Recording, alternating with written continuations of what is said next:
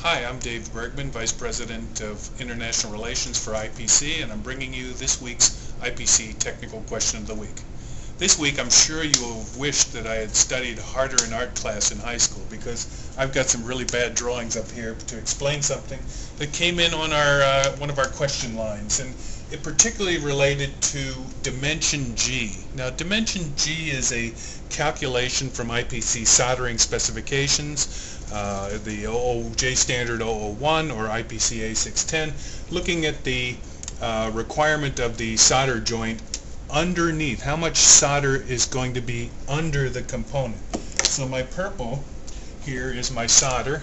This is my laminate, this is my copper land, my solder is here, and here's my component going into my component lead going into the solder. And the, uh, the uh, person asking the question says, what does IPC say about dimension G? How thick does this have to be? After reviewing J Standard 001, it was pretty clear that in all of the solder joint requirements, there is no specification uh, for G. It's listed that it has to be wetted only. So they do not give a specific um, thickness requirement. So I asked the, uh, the person what their specific interest was.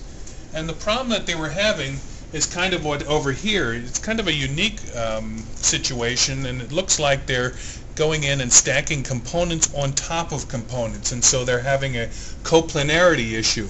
Uh, they're putting their solder paste down, they're trying to put leads in on that and it turns out that they're not getting a consistent height and they're trying to control that by controlling the amount of solder paste uh, or the dimension, the resulting dimension G.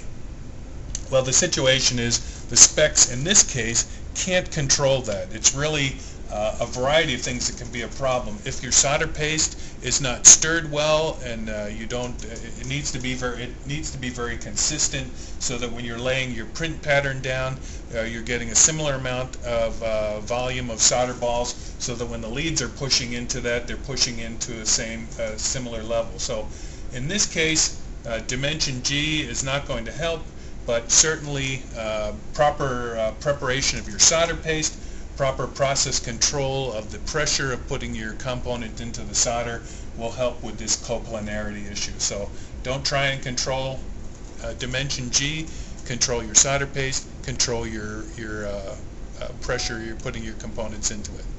That's this week's technical question of the week. If you have a question you'd like us to address, please send it to answers at ipc.org.